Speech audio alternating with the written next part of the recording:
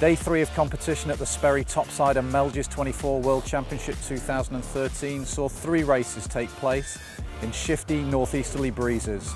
It was really shifty and tricky. You know, we have a little bit of an advantage from doing a lot of lake sailing. We just try to stay in the breeze, number one. We try to stay on the lifted tack, number two, and then always keep a clear lane, which is sailing fundamentals, right? And that's what we really tried to stick to today.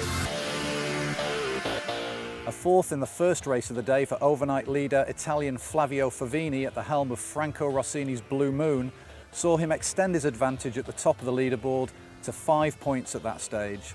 In the first upwind in the first and second race uh, we have worked hard uh, with the whole crew and uh, we have closed very well.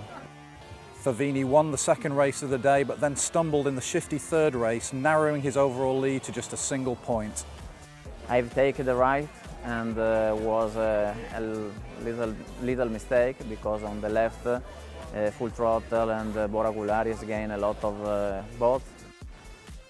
A great day for American Brian Porter on full throttle moves him up from fourth this morning to second overall and breathing down Favini's neck with two more scheduled races to go.